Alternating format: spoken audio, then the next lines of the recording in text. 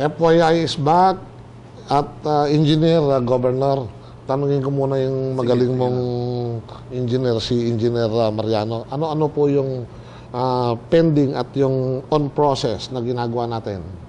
Ang ah, sa ngayon po ma, ang ginagawa namin dito sa ah, calendar eh, 2012 ay mayroon kaming 35 projects na Tatlumpu. at lima 35, okay, sige po. na amounting to 151.8 million Mhm. na ito po ay composed of ng ah, farm to market, Mhm. bridges, drainage structure, school building, barangay halls, covered court, water system, at saka yung other structure ah, like nung doon sa Oval, hospital and municipal. Governor, marami na bang kayong pera dito sa Zambales? Eh, mukhang magkano, magkano ho yung kailangan dyan? Ah, ginagawa na po namin at ah, ito'y kasalukuyang napondohan na ng ating mahal na gobernador. Gob, saan mo, saan mo kinuha? Ang uh, pag ang governance kasi para bang yan sa bagong kasal. eh. mm. Pagka kahit na kahit na pareho kayong ma- mataas ang sweldo, Mm. gusto niyo magpagawa ng bahay na maganda, ay mag-ipon muna kayo o kaya umutang kayo. Mhm. Papatangin kayo kung meron kayong pambayad. Kaya ano namin, dahil marami yung mga nakasalang na at uh, uh, umuusad naman yung mga activities ng mga investors, uh, nag-qualify tayo. Kaya sabi ko, wag, wag na tayo maghintay. Mhm. Umutang tayo sa land bank, Mhm. uh, 100 million para sa New equipment. uh, new equipment, heavy equipment, para yun ang paggawa ng kalsada. At saka yung namang 500 para sa infra, yung vertical.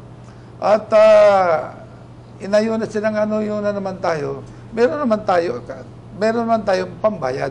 Ayun. Kasi tumaas na yung revenue. Tapos at saka may kasunod pa ito. Ngayon, doon sa mga sa mga looban ng mga barangay, can you mention at least mga ilan na, na nauumpisan po natin? Ah, kagaya po nitong ah, sa ating sa iba, meron tayong ah, rehabilitation ng lupang pangako farm to market sa San Agustin. Mhm. Meron tayong asphalting sa Binig ah, sa Botolan. Meron tayong ah, construction ng three-barrel ah, box culvert sa riverbank ng Pamunuran, Santa Cruz. Mhm. Meron tayong kanal sa Putla uh, Globit Highway. Meron tayong completion ng school building sa Pamebyan, Candelaria. Uh, renovation ng mga six classroom. Ito po ay 35 uh, projects itong mga ongoing na sari-saring proyektong ito.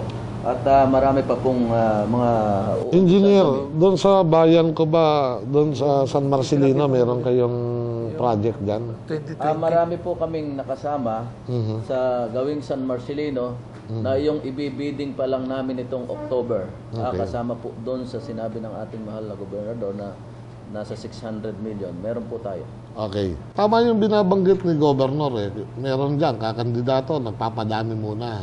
Tapos pagka yung kalagitnaan na, saka palang kikilos kasi malapit na yung eleksyon. Eh si Gob, nang, nangutang muna sa DBP yata, PNB, Land bank. Land Bank, at ah, para mapunuan na. So, mabilis yung proseso. Saan ba naman tayo makakakita ng gobernador na meron ganyan? Ngayon, Gob, big help ba sa'yo na na-elect yung inyong anak na si Omar uh, Ebdani na congressman dito sa 2nd District?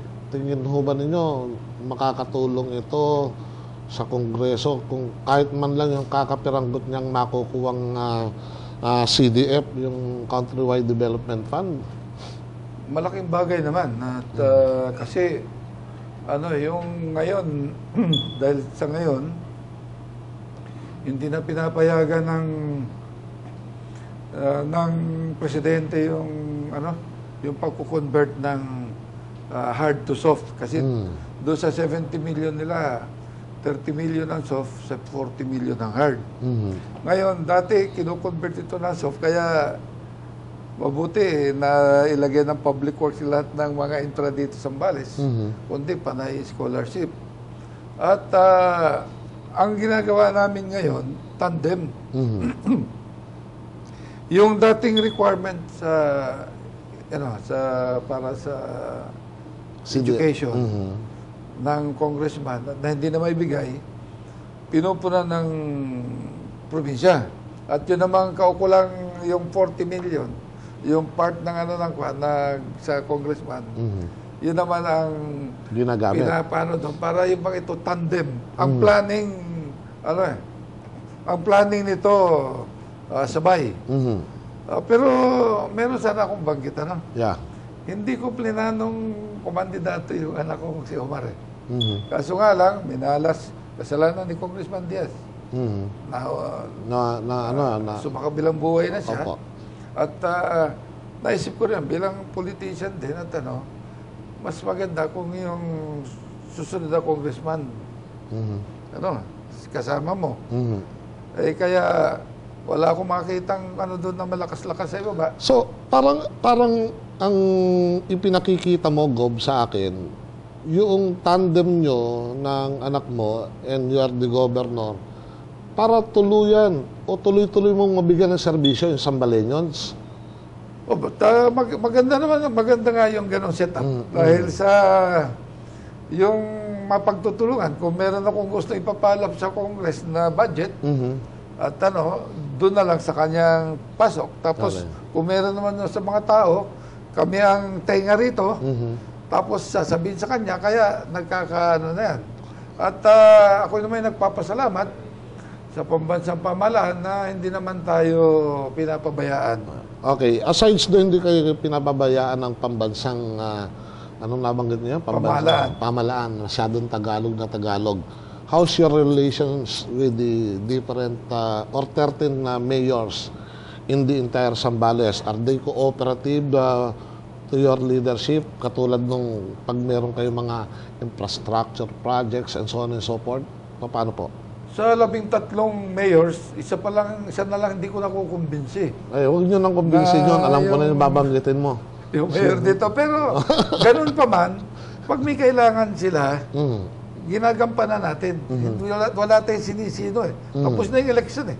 So, pag nagbibigay tayo ng tulong sa isang bayan, hindi natin inano dahil sa mayor. Okay. Kundi dahil sa tao. Ah, Gob, bigyan natin ng diin yung sabi mo kasi yung isa na lang yung dito sa mayor. Pero engineer, no? Saluhan mo kami dito sa aming usapan ni Gob. Ikaw yung nag-rehabilitate ng sports ah, complex dito mismo sa IBA. O, pero ako naman yun, pag-ari naman ng provincial government yun. Oho, hindi. What I mean is that nasa botolan yun. Ah, nandito mismo sa IBA yun eh. Hindi ho ba? Yung sinasabi nyo ba ang mayor na hindi pa sumasama sa inyo?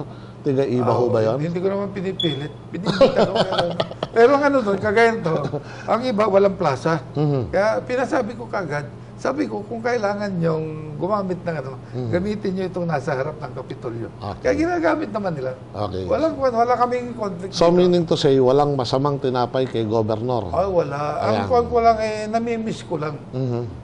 Namimiss ko. Ayan. Sana game lang, ano? Engineer, thank you, ha? Maraming At ah, salamat ka, Will. sa pagbabalik naman namin ni Gob uh, Ebdani, eh, pag-usapan natin, ano ba yung livelihood nila? Meron bang nag invest para matulungan yung ating mga ITAS?